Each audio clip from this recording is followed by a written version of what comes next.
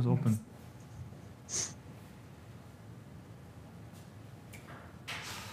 Bonsoir, Euh, je suis Robert de RivoSpine. Euh, bienvenue à une nouvelle session, euh, un nouveau web- webinaire sur l'endoscopie du rachis. Ce soir, le sujet est une live démonstration de, de, de en full endoscopie et comment réduire la coupe d'apprentissage.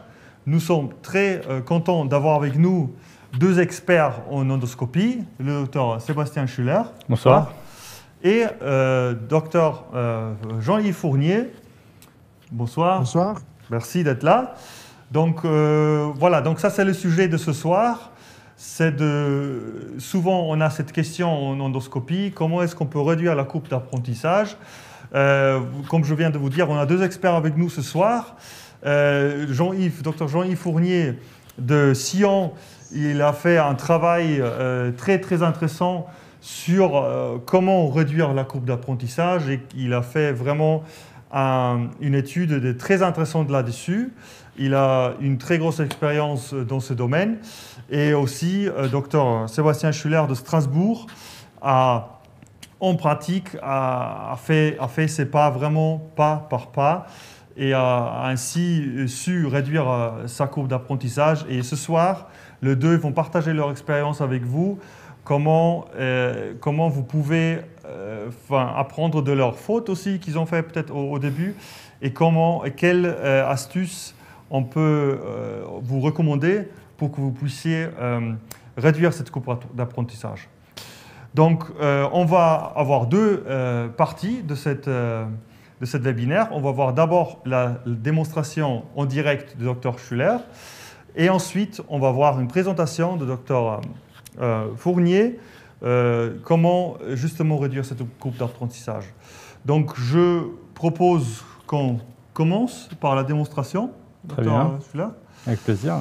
Euh, donc ici nous avons euh, un modèle navigué de Real Spine sur lequel donc on a une vraie hernie discale et lequel est d'ailleurs aussi, on va en parler plus en détail, et qu'elle est recommandée par les deux experts de justement avant de se lancer sur des cadavres peut-être ou sur des patients même de, de commencer avec des modèles justement. Donc euh, on va utiliser ce modèle-là.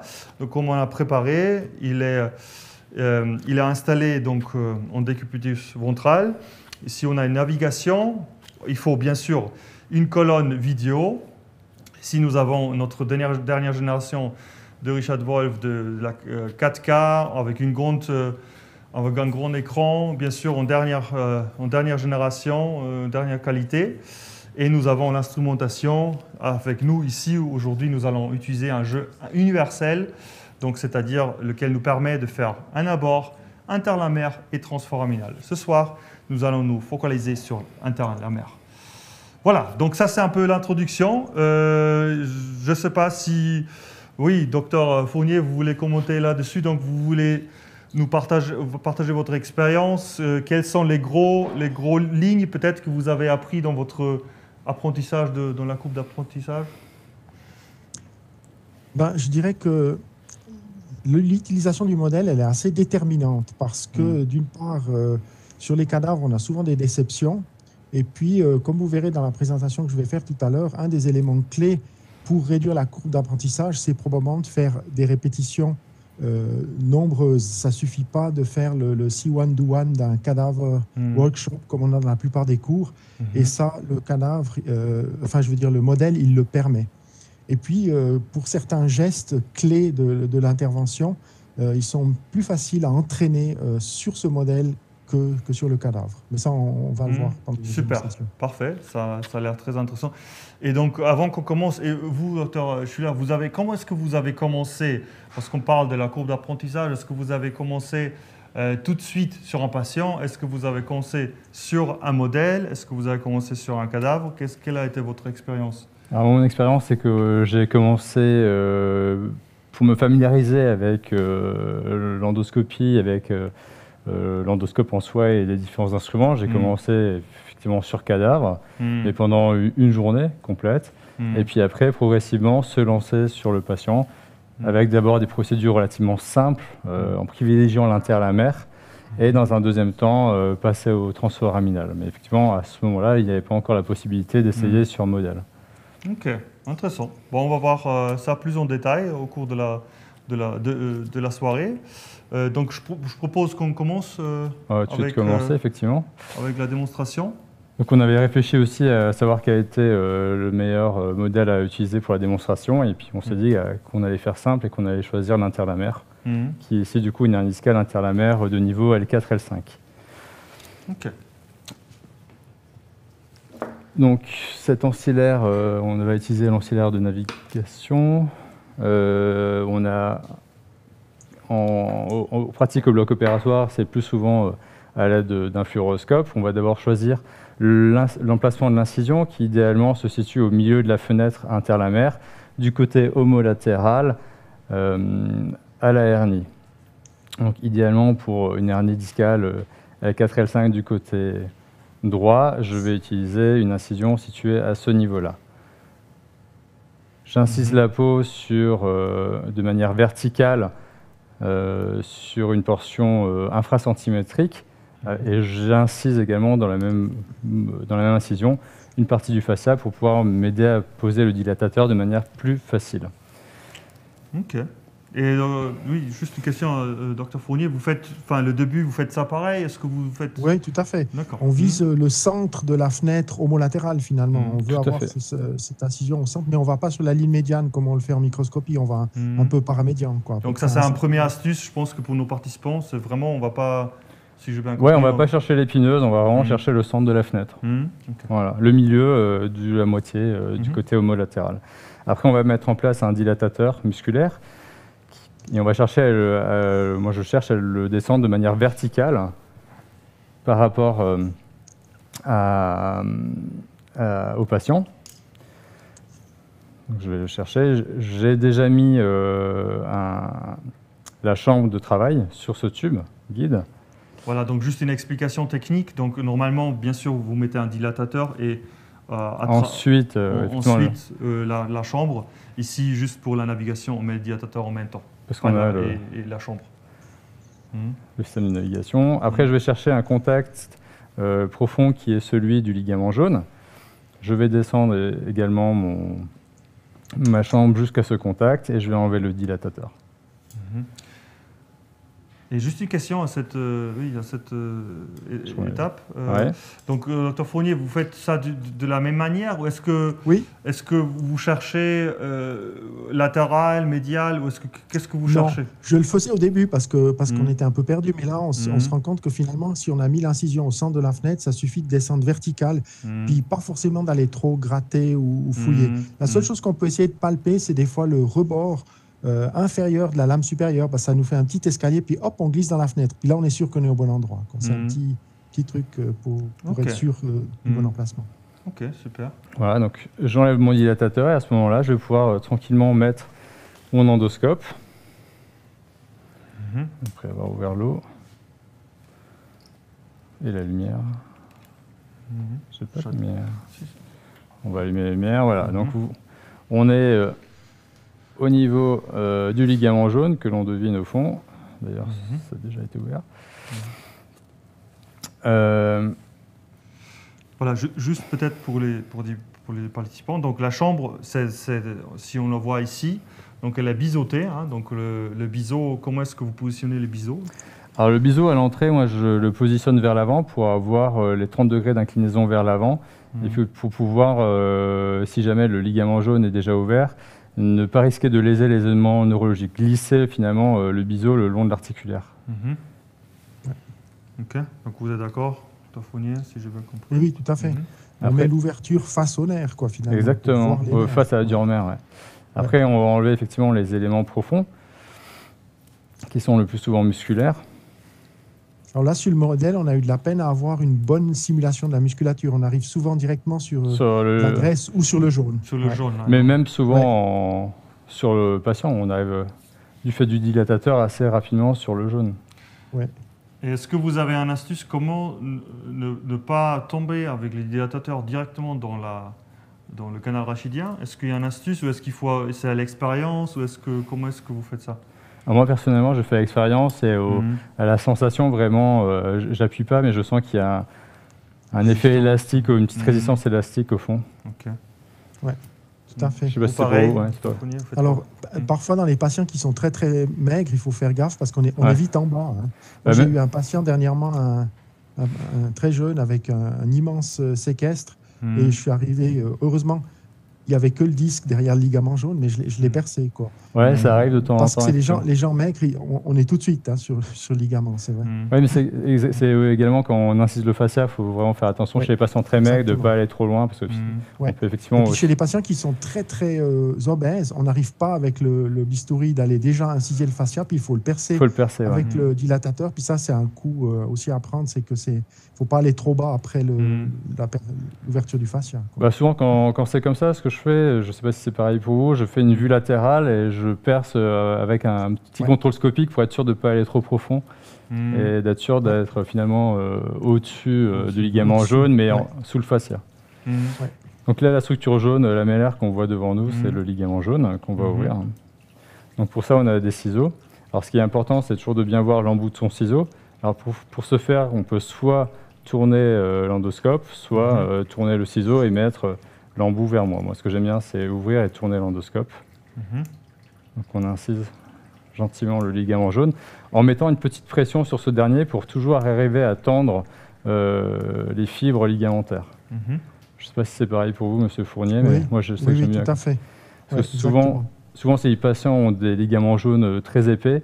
Mhm. Ben, on a l'impression de couper des fibres, couper des fibres, sans jamais arriver à vraiment couper euh, le- réellement le ligament jaune. Alors que mettre cette tension, ça remet le ligament jaune effectivement sous tension et les fibres s'écartent plus facilement. Tout à fait. Et puis ce qui est important aussi, c'est de dire que, c'est- que ce, ce ciseau euh, en bec de perroquet, c'est Mhm. vraiment l'instrument de choix pour ouvrir le ligament jaune. Au début, quand on a peur, on se dit on prend le, le mini Pierson ou je sais pas quoi, puis ça avance pas du tout. C'est vraiment l'instrument Ah ouais, qui est fait pour ça. hein. Mhm. Exactement, il ne faut pas essayer de l'ouvrir avec le, la. C'est- c'est- Mhm. Moi, je le faisais au début parce qu'on avait très très peur, mais ça prend des heures. Ok, bah, c'est ça c'est avance un, bon astuce aussi. Après, souvent, il y a, pour- oui. Oui. Il y a une petite. euh, souvent, quand on débute, on voit tout de suite une petite ouverture et on a envie de s'y engouffrer. Mhm. Il faut freiner ces- cette envie-là parce qu'en fait, une fois qu'on va s'engouffrer dans la toute petite ouverture, on n'aura après plus aucune possibilité de bouger l'endoscope. Mhm. Et il vaut mieux agrandir euh, cette petite ouverture au début pour pouvoir vraiment, après, pouvoir bouger la chambre Mhm. euh, de l'endoscope. Ok, Tout à fait. intéressant. Et que, ce que je vérifie peut-être avant de commencer, c'est je vais essayer de palper le bord médial de la facette. Parce qu'au début, on a un peu des, des soucis d'orientation, puis on- Mhm. si on ne fait pas attention, on peut ouvrir un petit peu trop médialement. Ouais, Alors, alors, si on a la- le, le bord latéral de la canule oblique qui, qui, qui bute contre le bord médial de la facette, on est sûr qu'on est au bon endroit. Mhm. Puis un autre truc qu'il y a aussi, c'est de commencer à ouvrir plutôt de médial à latéral. Ah, tout Parce qu'avec ce ciseau, si on fait le trou latéralement, c'est beaucoup plus difficile après Mhm. de prolonger l'incision, parce que finalement, on n'a pas besoin de faire un trou rond. hein. On va lisser la canule oblique, vous faites une incision qui est pratiquement, euh, on, va dire, linéaire, linéaire, ouais. Et on la fait, si possible, de médial à latéral, parce que là, ça va très très vite. Tout à Euh, fait. alors que l'inverse, de latéral à médial, c'est pénible. Ça, le, ciseau est pas si bon parce que le, avec la canule oblique et l'orientation de la fenêtre, le ligament jaune, il est un petit peu en pente et c'est plus facile à descendre qu'à remonter avec ce ciseau. Et surtout qu'une fois qu'il est plus accroché, bah, on n'arrive plus à appuyer dessus. Et Ouais. on a, Mm. voilà. Alors pour, se repérer aussi, parce que nous on sait où on est, mais euh, le public pas forcément. Mhm. Sur l'écran, nous avons euh, ici à 6 heures la facette articulaire hein, qu'on devine ici. Nous avons la partie crâniale à 3 heures, la partie caudale hein, ici là, à, à 9 heures et euh, l'épineuse euh, et la dure mère euh, à midi. Super. Mhm. Effectivement, il y a une petite ouverture très latérale. Donc où, là, on va un petit peu s'embêter à continuer à ouvrir le ligament jaune.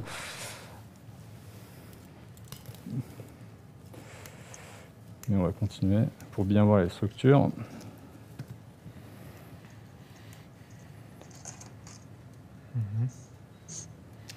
Qu'est-ce que, comment est-ce que vous êtes sûr que euh, derrière vous avez des structures nerveuses que vous les attrapez pas? Est-ce qu'il y a un astuce aussi que vous pouvez donner ou est-ce que c'est l'expérience ou- Non, alors souvent, comme on travaille avec l'eau, l'eau va euh, par chance repousser un petit peu les structures euh, nobles et euh, repousser effectivement la dure-mère, le, le, nerf si, si nécessaire. Mhm. Par contre, c'est vrai que s'il y a la hernie discale qui plaque le nerf contre, la, contre le ligament jaune, là, effectivement, c'est. Moi, j'ai pas d'astuce particulière, euh, si ce n'est euh, y aller avec, euh, Mhm. avec parcimonie. Quoi. Mhm.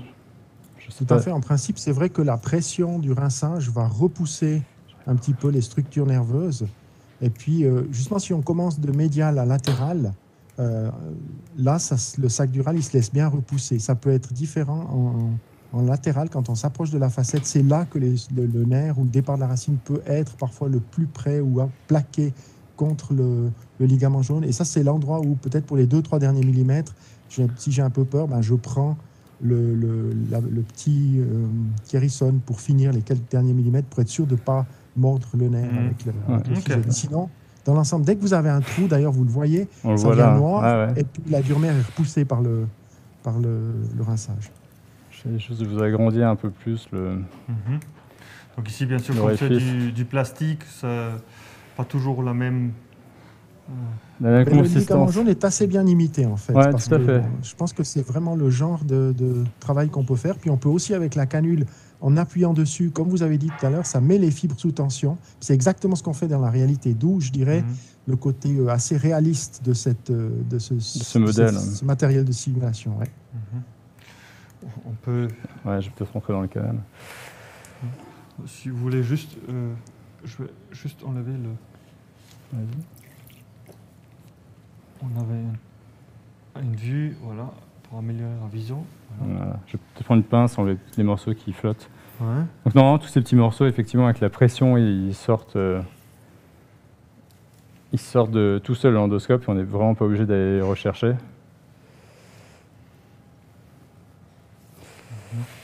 Voilà. Je vais vous prendre le palpateur, s'il vous plaît. Mhm. Et donc maintenant, ce que vous êtes en train de faire, c'est que vous êtes en train de descendre dans le canal. Ouais, je vais, je vais, je vais longer euh, l'articulaire. Ouais. ici, là, et descendre progressivement dans le canal, voir un petit peu. le- On devine euh, ici euh, un nerf. On le devine parce que le ligament, il pourrait être encore un peu. Je vais continuer un peu à ouvrir quand même ce ligament jaune. Euh, Ouais, avec ce ciseau, on a les ciseaux courbes. On a des ciseaux courbes aussi, si vous voulez. Donc on a effectivement, juste pour le public, on a des ciseaux courbes pour euh, pouvoir euh, atteindre des, des extrêmes.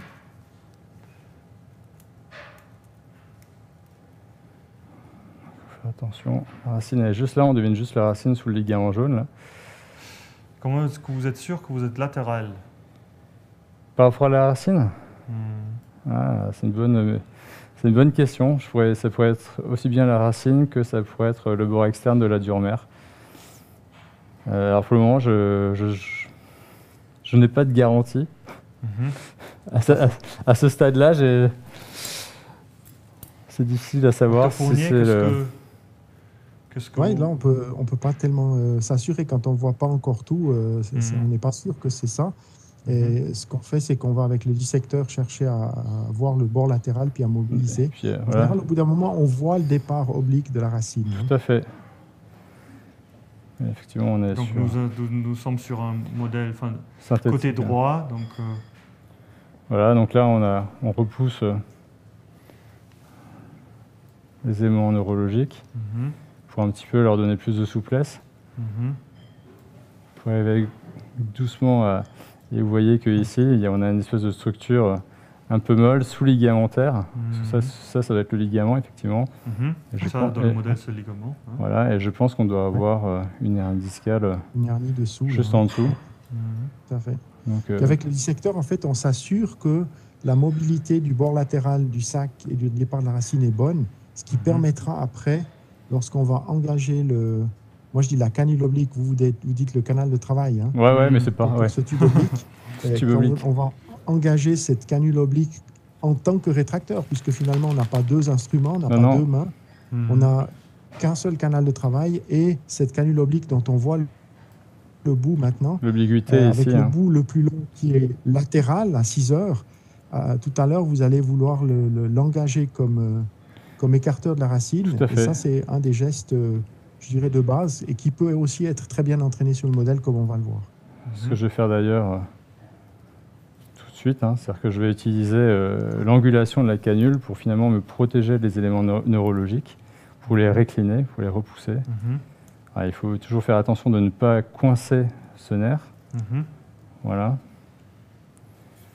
Alors, je vais essayer de descendre un peu plus. Donc dans le Et là, cas. l'avantage du modèle, c'est que vous pouvez, vous pouvez entraîner 15 fois. Là, vous faites 15 fois, ouvrir, fermer, enfin tourner, retourner la canule, Mhm. rétracter et, et remettre à, à 0 degré Voilà, pour ça, entraîner ce geste finalement. qui va nous permettre de, de- de repousser euh.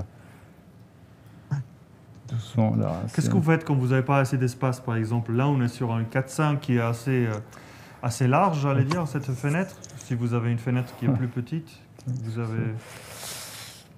Ce que Alors je ça, fais, ça c'est Toute la discussion. Hein. Ouais. Alors, euh, souvent, ce que je fais, c'est que j'agrandis un petit peu le, le, le foramen en rognant un petit peu de l'articulation. Donc, je vais Mhm. reculer, je vais vous montrer. Là, on voit donc on voit, on voit l'articulaire. Voilà, là, on voit l'articulation. Ah, Je suis ressorti, excusez-moi. Voilà, là, on voit l'articulation. Donc, typiquement, euh, quand j'arrive pas à rentrer complètement, ce que je vais faire, c'est que je vais rogner cette partie-là. Voilà, cette, cette zone-là pour essayer de- de- d'agrandir et de pouvoir rentrer plus facilement dans, dans le canal. Vraiment tout ça avec euh, à l'aide d'une Carison ou à l'aide d'un petit moteur. euh, voilà, tout ça. Mhm. Donc ici, effectivement, euh, le, le ligament, il ne se referme pas. On- sur, sur un patient, c'est pareil Ou est-ce que... Alors, le ligament, je pense qu'il va fibroser, il va cicatriser euh, chez le patient. Ok. La- la- finalement, l'ouverture n'est pas très grande. hein. On, a, on, on a fait une petite incision verticale et on va avoir une, une, une cicatrisation euh, du ligament. Et c'est vrai que quand, par malheur, euh, le patient devait avoir une nouvelle récidive, euh, bah, on peut refaire cette procédure sous endoscopie également et avoir, j'allais dire, un ligament jaune souvent qui ressemble à un ligament jaune intact, parce qu'il y a une- juste une petite lame euh, de cicatrice qui s'est formée. Mhm. Et par rapport à la... Rien du tout. Mhm. Souvent, on voit rien. Ouais. Mhm. Et par rapport à la, par exemple, à la, est-ce que vous changez quelque chose de, de l'abord On parle toujours de la, de la mère. euh, dépendant de, de, de, de- de la hernie discale, enfin de la localisation de la hernie discale, ou est-ce que, est-ce que ça ne vous change pas l'abord Par exemple, si on avait une hernie discale qui est maintenant plus médiane, ou est, il est dans... euh, oui. Bah, si, si la hernie devait être plus médiane et avec un étage euh, supérieur Mhm. euh, au niveau lombaire, je, je tenterais plutôt une transforaminale pour Mhm. chercher finalement la hernie discale par en dessous. Mhm. Après, si vraiment on est en interlamaire et que par exemple la hernie a le 5 à 5, Mhm. mon incision, je la ferais peut-être plus externe, plus vers euh, le- l'articulaire, Mhm. plutôt que d'être vraiment centré dans la fenêtre, pour au final euh, arriver à, être, à pouvoir être un peu convergent vers le milieu. Mhm. Euh, je ne sais pas si vous faites la même chose, Monsieur Fournier. Je change pas tellement en fait. Non. Non, je, je reste assez, assez toujours au même endroit parce que finalement dans cette fenêtre, avec, euh, avec euh, une fois qu'on a mis la canule, on n'a pas des masses de liberté, on peut pas tellement changer quoi. Ouais. Et puis ce qu'on a avec la, ce qu'on a avec l'endoscope qu'on n'a pas avec le microscope, c'est qu'on a 25 degrés d'angulation puis qu'on peut Mm. regarder en haut, regarder en bas. Là, on voit très Euh, bien. tout par à fait. Et souvent euh, une, une hernie discale euh, qui est très médiane par exemple, avec le microscope, vous devez beaucoup rétracter Mhm. le sac pour l'avoir. Ce qui n'est pas le cas avec l'endoscope parce que vous regardez sous le sac. Donc il n'y a Mhm. pas trop besoin de. de- Enfin, moi, je ne change pas beaucoup. quoi. Je reste assez euh, standard. Puis si c'est luxé vers le haut ou vers le bas, luxé vers le haut, c'est pas un problème. C'est même, ça fait partie des Bah cas, ouais. je dirais, même pour les débutants, parce que au-dessus Mhm. de l'épaule, vous avez assez de place. C'est plus, euh, je dirais, tricky et dangereux quand c'est luxé vers le bas euh, ou que la racine est très coincée Ah. vers du pédicule, où il n'y a pas du tout de place pour mettre la canule oblique. Ça peut être un peu Donc plus. là, euh, tout à l'heure. Là, là- là, typiquement, ce serait luxé vers le bas. Là, on a effectivement du mal, alors que luxé vers le haut, On a, voilà, on, a, on une là. belle vision. hein, là, on voit vous avez vraiment. une belle vision. Puis vous voyez plus loin que ce que vous pourriez voir avec le microscope. tout à fait. Mhm. C'est l'avantage. Ok. Ok, ben, on va peut-être ouvrir ce ligament longitudinal Mhm. pour aller chercher cette hernie discale. Donc, deux possibilités, soit effectivement, ce que je vous ai dit, c'est qu'on on se protège euh, à l'aide de, la canule. Moi, ce que je fais souvent, c'est que je- je- j'aime bien voir le nerf en question Mhm. Et je, je protège vraiment juste au dernier moment pour, rep- pour repousser. Mais Et- Peut-être juste un truc pour les débutants. Moi, je dis à mes, à mes jeux- chefs de clinique quand ils commencent Mhm. et puis qu'ils doivent tourner la canule oblique, je leur dis, avant de commencer à tourner, de pousser la canule oblique latéralement pour l'éloigner du nerf, avant de commencer la rotation. Comme ça, ils sont vraiment au maximum de ce qu'ils peuvent pour, pour éviter de la coincer. Ouais, typiquement, la poussée contre l'articulaire. Exactement, ouais, pour utiliser tout ce qu'on a à disposition. Voilà. Après, ce que, ce qui est bien, ce que j'aime beaucoup faire aussi, c'est vraiment le neuroliser euh, à l'aide euh, du palpateur pour vraiment euh, Mhm. être sûr que le- Être sûr qu'elle bouge. qu'elle bouge, qu'il y ait de la place. Et, et seulement après, comme ceci, Voilà. protéger. Je vais juste, on va juste nettoyer le bout de la caméra à Mhm. nouveau. Juste pour, pour l'image, ouais. Hop là. Voilà, donc on y retourne. J'ai toujours ma, mon, ma protection. Ouais. Et est-ce que, par exemple, euh, quand vous faites le geste de tourner la, ca- la canule, euh, Je reviens à zéro. ouais, là, là, on est à zéro, voilà, on est réseau. Mais Est-ce que sou- souvent des, des participants posent la question, euh, des chirurgiens, est-ce que combien de temps est-ce que je peux faire ça? Est-ce que c'est un feeling ou est-ce que vous avez vous avez une astuce à leur donner par rapport à ça? Alors, je, pense que c'est un peu comme avec euh, les à racine. Moins longtemps on tire sur la racine, mieux c'est pour la racine. Mhm. Donc régulièrement, en fait, je reviens euh, sur le mode zéro. Et ce que j'ai fait de manière spontanée, là, vu qu'on a, on a arrêté la procédure. Et quand je dois travailler, je me remets comme ça. Si j'ai besoin effectivement de re- repousser la racine, Mhm. et dès que j'ai fini, bah, je me remets comme ça Mhm. pour que la racine ne soit pas non plus totalement étirée euh, par la procédure chirurgicale. Mais exactement comme avec un écarteur à racine. Donc là, on, a, on voit une petite ouverture du, du ligament euh, longitudinal, mais on a l'impression qu'il y a de l'os en dessous. On a l'impression qu'il y a de l'os, tout à fait. Donc la hernie ici, juste pour, pour, pour- pour tout le monde, elle est, elle est blanche, hein, la, la hernie discale. Ça, on, essaie de la chercher. ça, hein. ça, c'est donc mou, donc ça, on a l'impression que c'est le disque. On a hein. l'impression que c'est le disque, mais sans. Donc là, Ah, ce serait le disque. mhm, mhm, mhm. Alors, ça nous permet aussi d'aller re- regarder plus dans le foramen, savoir si, si la hernie se trouve par là. Mhm. Je vais déjà enlever Donc, euh, bien sûr, on, aurait fait, on aurait fait un, une IRM. voilà, on- pour savoir où la hernie elle est. Voilà, Donc là, on voit vraiment. euh, là, j'ai de l'os en dessous. hein.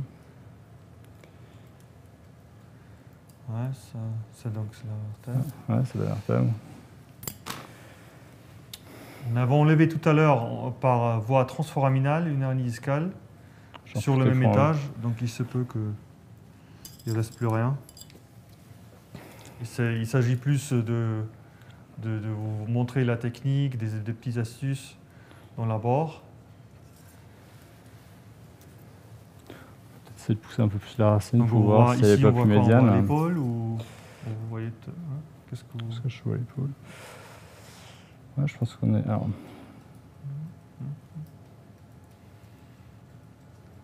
Ouais, là, on devine l'épaule. Enfin, je pense que là, on doit avoir l'aisselle de la racine qui doit être plus, plus bas, finalement. Et on est vraiment sur la partie externe de la racine avec son épaule qui est là. hein. Mhm. Ici, on a l'épaule de la racine. Et ici, Et dirait- ici, on a l'aisselle de la racine. Mhm.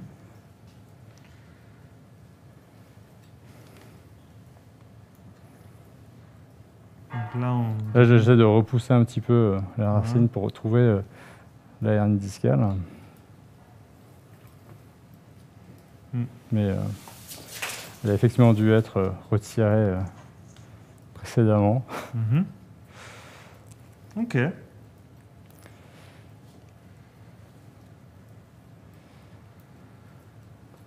Ou alors, euh, comme ça peut arriver de temps en temps, c'est une résorption spontanée de cette hernie discale.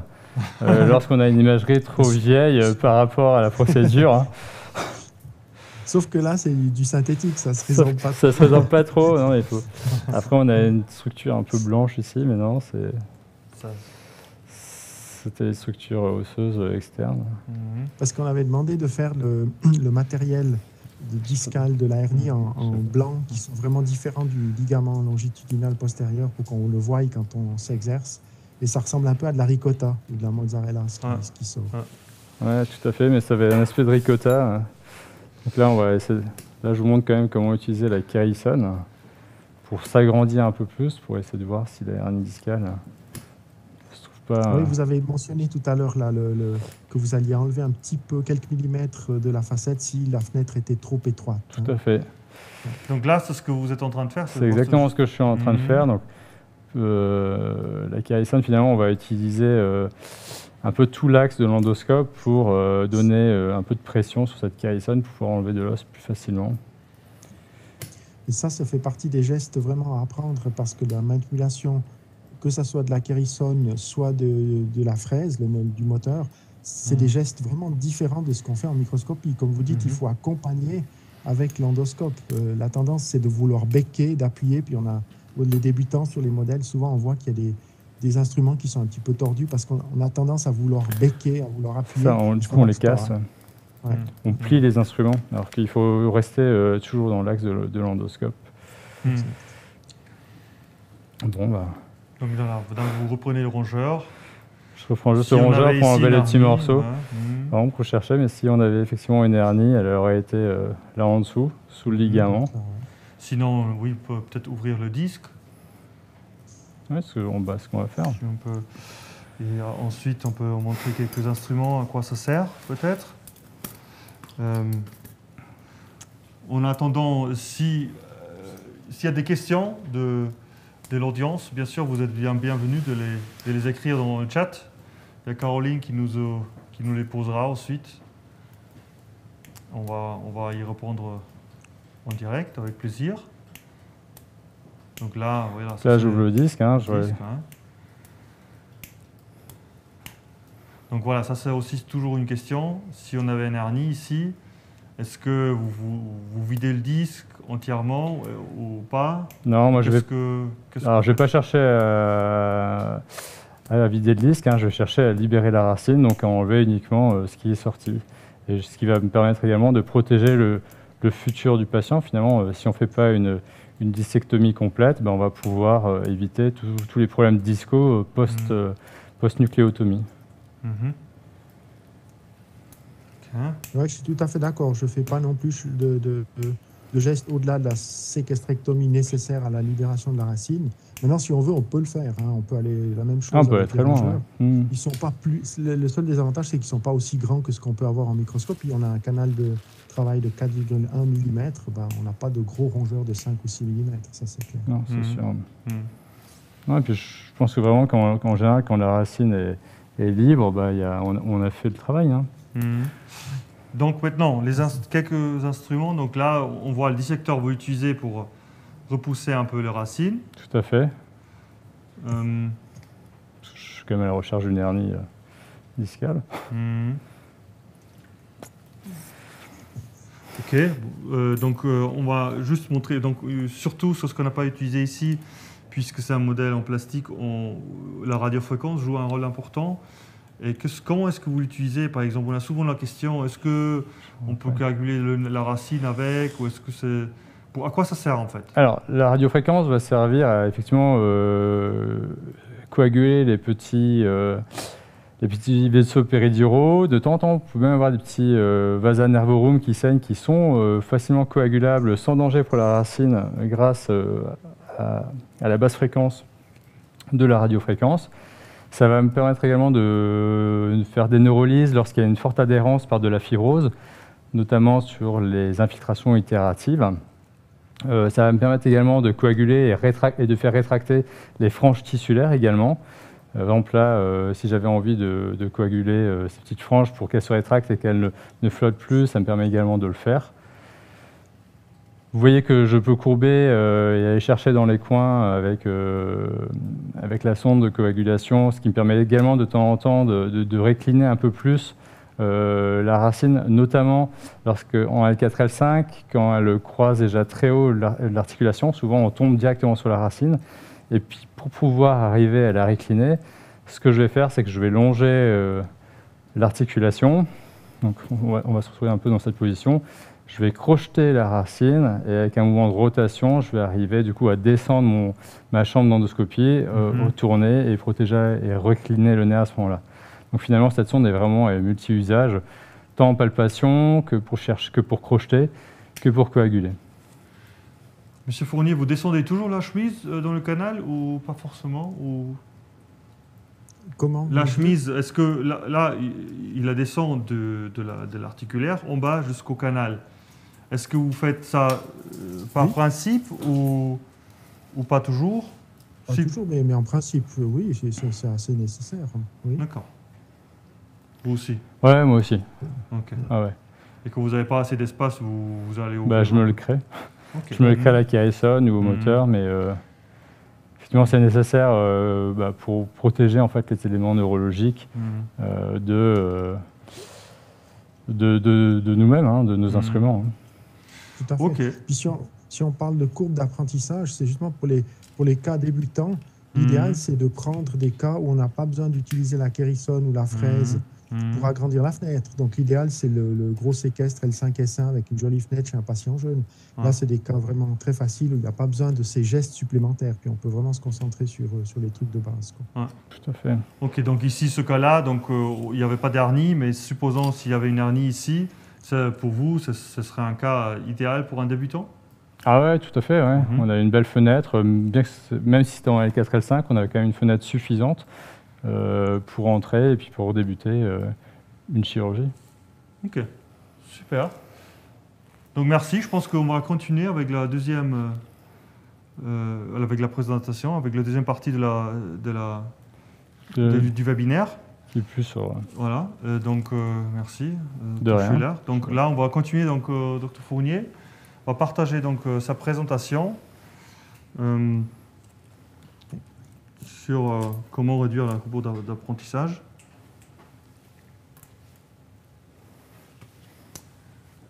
Voilà. Est-ce que vous le voyez? On attend, ça arrive, ça arrive. Voilà, C'est bon? Super. Ok. D'accord. Alors, je me présente. Donc, moi, je m'appelle Fournier Jean-Yves. euh, Je suis neurochirurgien à l'hôpital de Sion, en Valais, euh, dans les Alpes suisses, où je suis de retour. En fait, c'est ma ville natale. Je suis de retour depuis deux ans et demi. J'ai travaillé avant ça en Suisse allemande, surtout à Zurich, et puis à Saint-Gall, où j'ai commencé mon, on va dire, mon, expérience endoscopique. Je vais vous parler euh, deux mots sur euh, cette tendance minimalement invasive qu'on vit avec cette séquestrectomie lombaire endoscopique, quelques rappels sur ses avantages, et puis après, le grand inconvénient de la learning curve, parce que finalement, c'est ça l'obstacle. Et puis euh, après, je vais vous parler de mon expérience de la transition micro-endo. On a identifié les difficultés, puis on a essayé de chercher des solutions pour surmonter ces difficultés. Donc ça, c'est le gold standard, ce qu'on connaît tous, cette euh, microdissectomie. Et puis euh, le trend vers, on va dire, des, des interventions minimalement invasives, il est indiscutable. Moi, j'ai commencé ma carrière à Sion, ici, il y a plus de 30 ans, où j'ai appris à faire l'hernie discale. On n'avait pas de microscope, on faisait ouvert et puis on allait compter avec l'index euh, les fenêtres pour, faire la fenêtre. Quand on dit ça aujourd'hui aux, jeunes, euh, ils sont, ils sont effrayés. Puis après, ben, on a eu le microscope avec les petites incisions à 20, 20 mm ou 30 mm suivant les patients. Puis il y a eu l'endoscope assisted dont M. Destando euh, à Bordeaux était un des grands représentants. Je crois qu'il vient de reprendre sa, de prendre sa, sa retraite après une carrière où il a fait je ne sais pas combien de milliers de, de cas en endoscopie assistée. Et puis maintenant, euh, depuis quelques années, on a ce full endoscopique, euh, ce, dont on parle aujourd'hui en fait. Et puis le trend, euh, il est absolument confirmé par le, nombre de publications. Ça, c'est une recherche que j'avais faite au début de cette année pour l'hernie discale, et puis ça en novembre pour la décompression du canal lombaire. Et on voit qu'il n'y a pas de discussion. Les publications sont en augmentation, les gens s'y intéressent de plus en plus. Les avantages pour le patient ben, sont assez évidents. Bien sûr, il y a la très petite cicatrice qui est nice to have, mais, mais pas indispensable. Enfin, c'est joli. Euh, Il n'y a pas de saignement, il y a peu de douleur immédiate. Bien sûr qu'ils ont presque pas mal au dos parce qu'il n'y a plus le traumatisme musculaire. Puis on a été, on était impressionnés quand on a commencé avec cette technique en 2007 à Saint-Gall avec euh, les, douleurs dans la jambe, qu'on avait l'impression qu'elles partaient aussi beaucoup plus rapidement. On se posait la question pourquoi Est-ce que l'effet du rinçage, vous savez, quand on fait une, séquestrectomie endoscopique, là en 45 minutes, vous rincez facilement 4-5 litres et tous les irritants chimiques, on va dire, euh, sont, sont éliminés. Il n'y a pas d'infection. Et puis, en plus de ça, il n'y a pas de cicatrice sur la racine. J'ai eu quelques révisions où je voulais faire des photos de ce qu'on avait fait. Il n'y a rien à voir. C'est comme si, c'est comme si on avait fait euh, la première fois. On avait des observations particulières dans cette, cette série-là de, des premiers patients dans les années 2007 et suivantes. On avait des patients à qui je demandais le matin est-ce que je peux voir comment vous, vous, marchez? Et ils sautaient du lit. Ça, c'est des choses que je ne me rappelle pas avoir vues quand on, opère en, en, microscopie. Il y avait des patients qui, l'après-midi même, ils avaient fait la valise, ils avaient plus mal à la jambe, pas mal au dos, ils se disaient pourquoi je reste ici, puis ils voulaient rentrer. Après, il y a des raisons tarifaires, que ce soit en Allemagne ou en Suisse, on les garde trois jours parce que sinon on perd des sous. Puis après, la question qu'on se pose, c'est mais si c'est tellement bien, mais pourquoi tout le monde ne le fait pas? Là, je vous montre l'exemple d'un des premiers patients que j'ai fait à Sion ici quand je suis revenu il y a deux ans. C'était un patient de 70 ans qui était très sportif de la région de Verbier, pour ceux qui connaissent, et puis euh, qui est venu avec cette grosse hernie discale. Il avait peu d'arthrose, donc on l'a fait en, en, endoscopie. On n'a même pas eu besoin de fraiser ou d'employer la kérissone. Puis au contrôle à quatre semaines, il est venu avec son épouse. Puis euh, son épouse, elle me regardait avec un air un petit peu agressif, comme ça, en me disant Moi, j'ai aussi été opéré d'une hernie discale, mon frangin aussi. Et puis nous, on a eu mal assez, pas mal de temps. Mon mari, d'après deux semaines, il était sur le vélo. Pourquoi vous ne faites pas tout le temps comme ça? Puis là, ben, je ne me suis pas amusé de lui, lui parler des difficultés de l'apprentissage de l'endoscopie. Mais en fait, euh, ça reste vraiment le problème central. Certains essayent de le minimiser, puis de dire non, non, c'est pas compliqué. C'est vrai que quand on en a fait 3000, c'est jamais compliqué.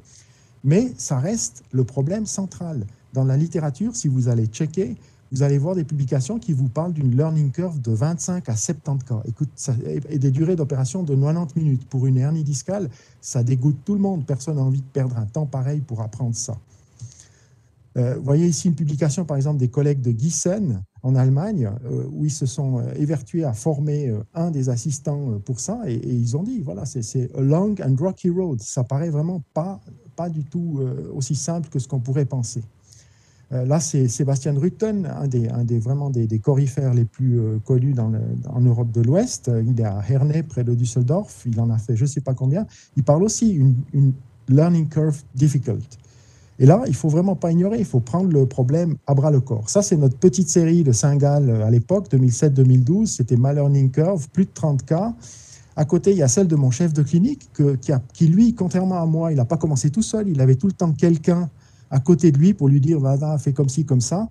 Et ça, ça lui a diminué sa learning curve de, moitié par rapport à moi. C'est une première piste pour essayer d'accélérer la learning curve. J'ai eu l'expérience personnelle en endoscopie euh, avec la, chirurgie hypophysaire de faire cette transition. J'avais commencé en 1998 euh, à faire de la chirurgie hypophysaire. Et puis en 2004, euh, mon patron à Saint-Gall me dit ah, Regardez voir avec les ORL, je pense que ça va venir et tout. Puis on s'est lancé là-dedans. On a vu que ce n'était pas si simple, surtout l'ORL qui était avec moi. Il disait Voilà, il faut apprendre ces mouvements, c'est pas si simple que ça. J'ai fait en 2013 un, fellowship à Montréal chez des collègues pour la base du crâne et ça. et il y avait l'ORL, euh, docteur, le professeur Lavide, là, quand il y avait un jeune assistant de neurochirurgie qui lui disait Ah, moi, ça m'intéresse la base du crâne, euh, j'aimerais bien en faire avec vous et tout. Qu'est-ce que c'était la réponse de l'ORL C'est Ouais, mais vous, les neurochirurgiens en endoscopie, vous avez tellement aucune idée. Donc, il n'avait pas la patience parce que les neurochirurgiens sont nuls en, endoscopie, ils ont peu d'expérience. Puis finalement, on a eu cette introduction sur euh, l'endoscopie lombaire. Ici, c'est notre expérience pour l'introduction de, l'endoscopie pour la chirurgie hypophysaire et on avait fait un travail euh, avec euh, le professeur Didier Martien à Liège pour essayer d'identifier les, difficultés d'apprentissage et ça avait débouché sur, euh, en fait, sur le développement d'un modèle d'entraînement où on pouvait entraîner les assistants, les internes, là vous voyez ceux de l'équipe de Liège, qui, en fait s'entraînent à aller vider le jaune d'œuf sans abîmer la moitié postérieure du blanc d'œuf dans ce, modèle 3D. L'idée étant qu'ils entraînent le maximum de choses avant de toucher le cadavre. Euh, même, pas le patient, même le cadavre, parce qu'on euh, on a eu des expériences, des cours de base du crâne à Munich où, on avait des, des jeunes qui, qui, brisaient des endoscopes parce qu'ils essayaient de forcer ça. On voit qu'il y, y, a une nécessité, un besoin d'apprendre les gestes de base en endoscopie en dehors de la salle d'opération. Qu'est-ce qu'il y a comme difficulté euh, quand on passe du microscope à l'endoscope? Eh bien, Déjà, il y a la vision qui n'est pas la même, c'est une vision 2D, s'il y a des distorsions, euh, il y a, il y a des, des, instruments qui sont différents. Par exemple, pour l'hypophyse, pour ben, c'est des single shafts, euh, c'est pas du tout la même chose. Puis il y a les mouvements qui sont pas les mêmes non plus. Euh, si vous faites la base du crâne en microscopie, ben vous avez un spéculum, vous pouvez pratiquement pas bouger. Puis tout à coup, en endoscopie, vous pouvez bouger dans toutes les directions, vous voyez dans les coins, c'est complètement différent. Puis pour le spinal, c'est l'inverse. Quand vous faites la microscopie puis que vous prenez un kérison ou une fraise, ben vous la prenez dans la main puis vous la, vous la becquez dans tous les sens. Il n'y a aucune difficulté. Alors qu'en endoscopie, ben vous avez un canal de travail, c'est un axe, c'est presque du travail en 2D. Et ça, c'est quelque chose qu'il faut apprendre. Ce qui fait que si on fait la somme des différences micro-endoscopiques, ben, ce n'est pas peu. Hein. Vision indirecte, vision 2D, distorsion, aspect anatomique différent. Au début, on a eu beaucoup d'hésitation parce que le ligament jaune en endoscopie, il n'est pas jaune du tout. Il peut être des fois tellement blanc qu'on se dit est-ce que c'est la dure mère? Euh, On a des angles morts, on peut avoir des désorientations sur rotation accidentelle de la caméra. Il y a, des instruments droits, à part ce, ciseau courbé vers l'avant, il n'y a, a, a, que des instruments qui vont tout droit. Il y a peu de liberté de mouvement. Et puis, on a des stratégies en microscopie et en endoscopie qui sont différentes. Et tout ça, si vous faites la somme, euh, vous ne pouvez pas dire moi, j'ai fait 3000 hernies discales lombaires en, microscopie, j'achète un endoscope, puis demain, je vais commencer. Ça va jamais marcher, ça va vous saturer la mémoire de travail, donc il y a des choses à entraîner en dehors de la salle d'opération.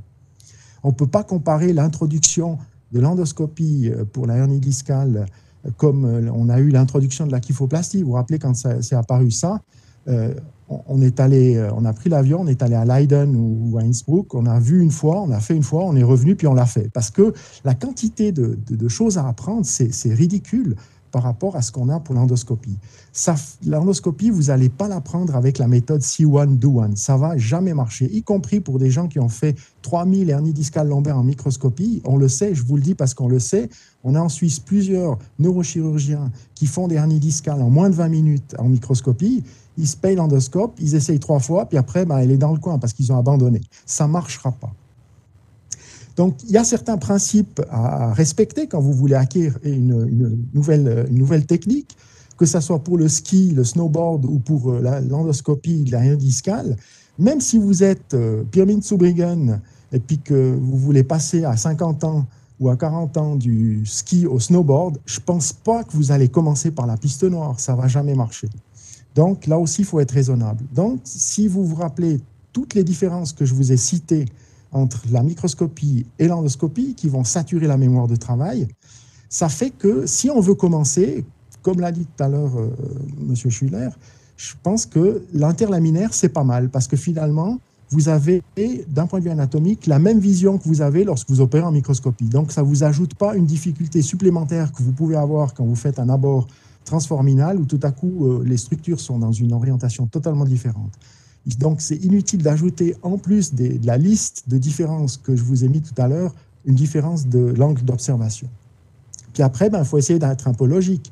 Au début, l'interlamère, c'est bien parce que vous trouvez quelques patients avec euh, euh, des, disques, des derniers L5S1 non migrés ou L4-L5, et puis vous n'avez que ça à, vous, euh, vous avez que ça comme élément à vous concentrer.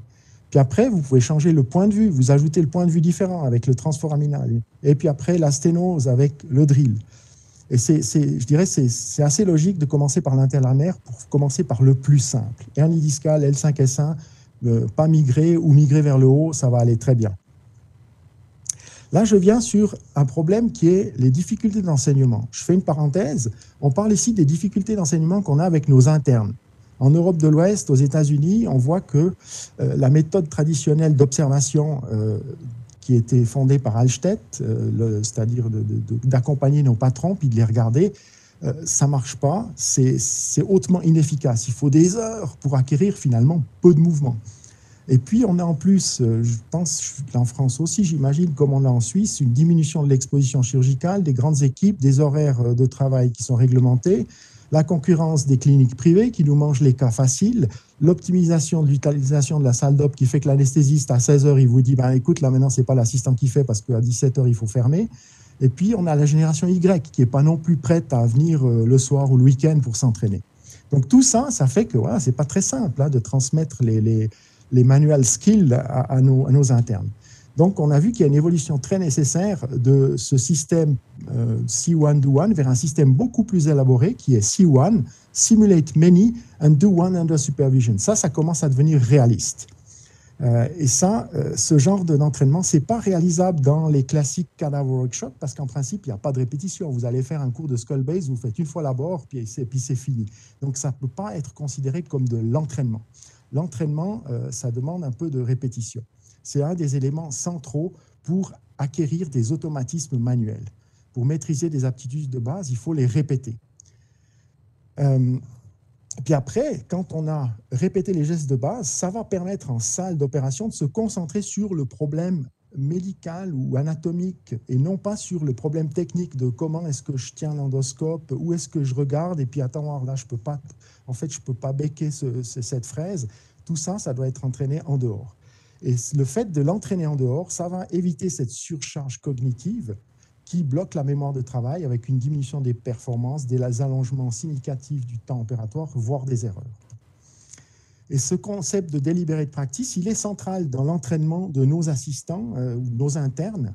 Il faut avoir euh, la possibilité qu'ils répètent ça, il faut qu'ils soient motivés, bien entendu, et puis qu'il y ait une sorte de moyen de mesure, qu'on mesure le temps ou la performance ou la précision, et puis qu'ils reçoivent un feedback de leur performance. Voilà le concept, je dirais, d'un entraînement moderne.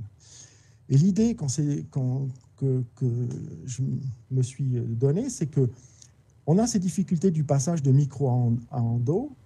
Euh, ce qui est valable pour l'endoscopie de la base, euh, c'est aussi valable pour le spinal. Puis ce qui est valable pour des internes débutants, c'est aussi pour des neurochirurgiens expérimentés qui finalement, quand ils passent du micro à l'endo, ben, ils sont débutants. Et c'est pour ça qu'on a essayé d'adapter le, modèle du professeur Bernal de l'Université de Leipzig, euh, qui est un modèle que j'avais utilisé dans des, cours d'entraînement pour euh, les assistants, pour les internes quand ils apprennent à faire les hernies discales, ou pour le barricade. Je ne sais pas si vous avez entendu parler de ce système de, fermeture de l'anneau fibreux pour essayer de, diminuer les récidives. On avait fait quelques workshops avec ce, modèle, qui est un modèle très réaliste, avec, euh, on va dire, des os qui sont euh, très consistants. Ça permet vraiment d'entraîner le Carrison pour les débutants. Euh, la graisse qui est très euh, bien imitée. Là, on n'a pas pu le voir, mais on a des modèles où la graisse est tellement bien imitée qu'on peut effectivement employer la bipolaire ou cette radiofréquence comme dans la réalité. Vous allez, avant d'ouvrir le ligament jaune, vous vaporiser la graisse et elle va disparaître. Euh, c'est un modèle qui permet aussi de saigner. Vous pouvez monter la pression sanguine.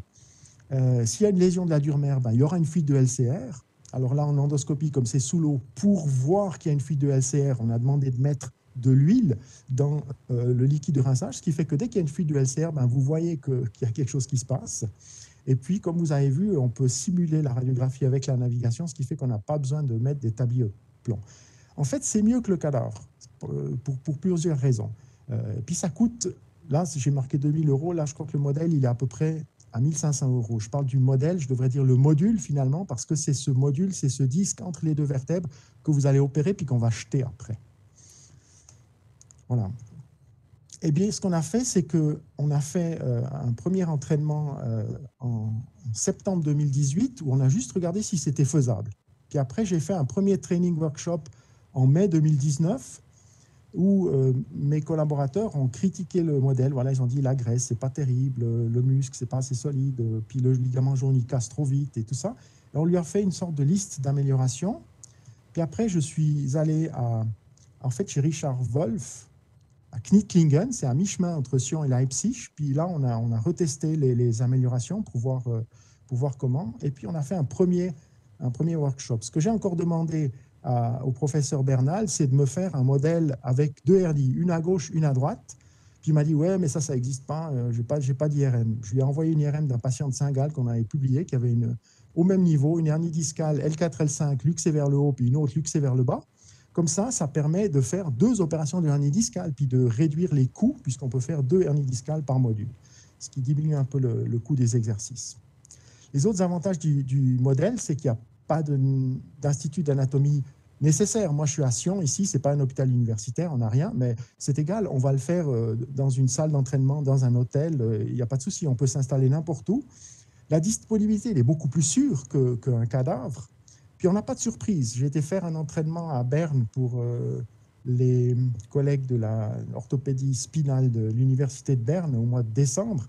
Et on était sur cadavre et un sur deux, ça marchait pas parce qu'il était opéré, il y avait des vis ou euh, il y avait une sténose qui était trop importante, on voulait entraîner l'hernie discale. Le geste, par exemple, la rotation de, la canule oblique que vous avez vu alors, euh, tout à l'heure, c'est pas faisable. Le matériel est complètement desséché, c'est collabé. Vous avez l'impression que c'est une racine, mais en fait, c'est le sac dural. Donc, on a tous ces problèmes-là avec le modèle, on les a pas. Et puis après, ce qu'on a fait, c'est qu'on a essayé d'optimiser le déroulement du cours. Pour ça, on a consulté un spécialiste en pédagogie, euh, M. Michael Piccirillo, qui est un éducationniste et qui est consultant auprès du NAS. Et on a utilisé les méthodes d'apprentissage modernes pour essayer d'ancrer les connaissances de façon le plus ferme en une journée d'entraînement. On a déconstruit la procédure étape par étape. Et puis pour chaque étape, on s'est posé la question, qu'est-ce qui peut m'empêcher de réussir cette étape? Qu'est-ce que c'est la solution pour surmonter l'obstacle? Puis c'est ça qu'on va enseigner. On s'est concentré là-dessus. Et puis, on, fait aussi, euh, pendant le cours, on, fait, on utilise ces, Gibbs Reflection Model, où on essaye de faire participer les gens, puis réfléchir sur ce qu'ils ont bien fait, ce qu'ils ont mal fait, comment est-ce qu'ils pourraient faire mieux et tout. Tout ça, c'est connu, point de vue pédagogique, pour essayer d'ancrer euh, les éléments. Et puis, vous voyez ici euh, un des exemples, Deliberate Practice de, de, nos, de assistants, pendant nos internes en mai 19, où on mesure le temps. Les premiers exercices, ben, ils font 30 minutes, puis les derniers, sont autour des 10 minutes. On a fait quatre cours de ce style et on a toujours ce même genre de courbe avec une nette euh, augmentation de la sécurité des participants. Donc, on a fait un pour les externes en, septembre 19, on en a refait un en septembre 2020, on est à la Berne en décembre 2020. Puis là, j'étais à, l'Université de Lausanne, au CHUV, euh, la, semaine, la semaine dernière. À chaque cours, on mesure le temps, on voit que ça descend. On voit même que je les mets par groupe de deux. Il y a un qui est opère et l'autre qui assiste. Il y a peu de choses à faire en assistant, mais l'assistant, il regarde, il voit, puis on voit déjà que celui qui est numéro 2, ben, il fait plus vite. Il y a des erreurs, il y a des difficultés qu'il qui surmonte beaucoup plus rapidement. Donc, mon espoir, c'est que dans la littérature, les débutants tout seuls, comme j'étais moi quand j'ai commencé ça, c'est plus de 30 à 70 cas, ça correspond à la littérature. Si on a la chance d'avoir un backup, ben on peut le diminuer de façon notable. Et avec le cours qu'on propose, avec quatre exercices en suivant, plus quatre assistances, euh, on arrive probablement à moins de 10. Moi, j'ai deux, deux, chefs de clinique ici qui ont fait l'exercice, ils se débrouillent.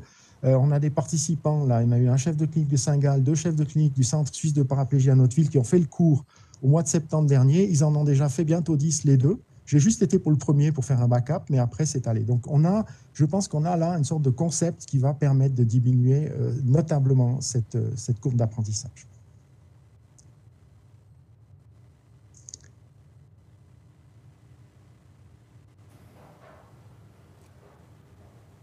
Est-ce qu'il y a des questions? Oui, docteur Fournier, merci. Euh, oui. Donc c'est la fin de la présentation. Pardon, je savais pas. Merci, merci beaucoup. Vraiment, vraiment très intéressant cette, euh, cette présentation.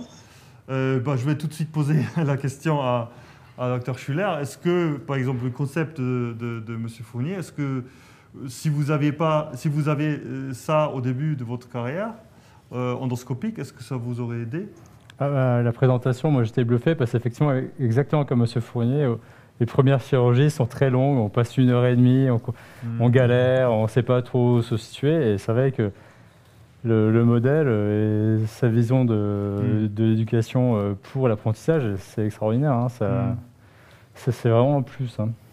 Super, ouais, ça, ça, paraît vraiment euh, la partie répétitative. moi, moi j'ai aussi j'ai assisté à vos cours. Je pense que c'est vraiment euh, c'est une très, très, bonne idée, c'est un bon chemin de, justement réduire cette, courbe d'apprentissage, laquelle vous avez décrit, euh, qui, est assez longue, même par, euh, par Dr Rutten, hein, qui, a, mentionné ça.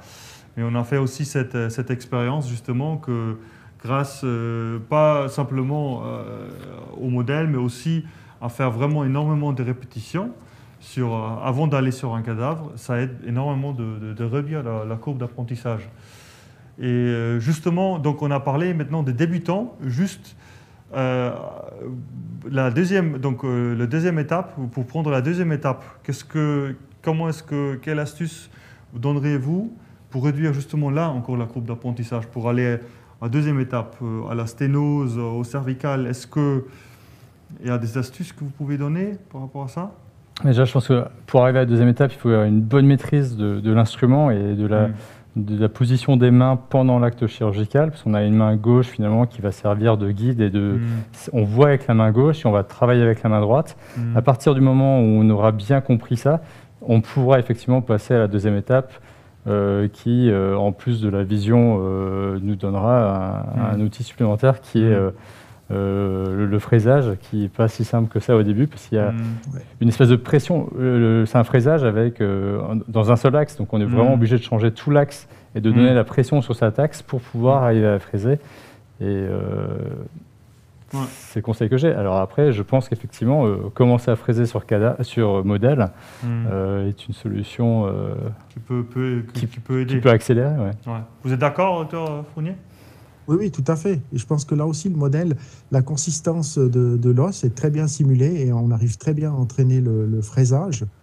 Et là, euh, on est en train de mettre sur pied le- un concept similaire à celui qu'on a pour l'entraînement de la séquestrectomie par rapport interlaminaire pour entraîner la sténose. Parce que les, les étapes sont différentes. En fait, moi, Mhm. j'ai appris un tas de choses en apprenant les étapes pour la, pour la sténose euh, par voie endoscopique, parce qu'il y a des éléments auxquels on ne fait pas attention quand on fait de la microscopie, et là, il faut faire attention. Il y a une sorte de séquence. Entre-temps, je dirais que l'opération de la décompression endoscopique, elle a aussi bien, elle est structurée, on sait qu'est-ce qu'on doit faire, on commence par aller chercher la pointe inférieure euh, de la facette descendante, puis on fraise le bord médial, puis après on fait la même chose pour le- le- la, la facette euh, ascendante.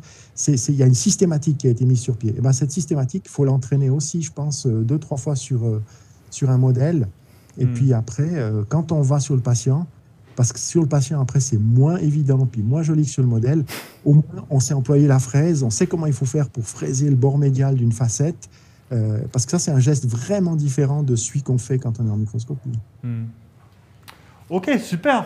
Je pense que on a répondu à toutes questions, à toutes attentes de, notre- public.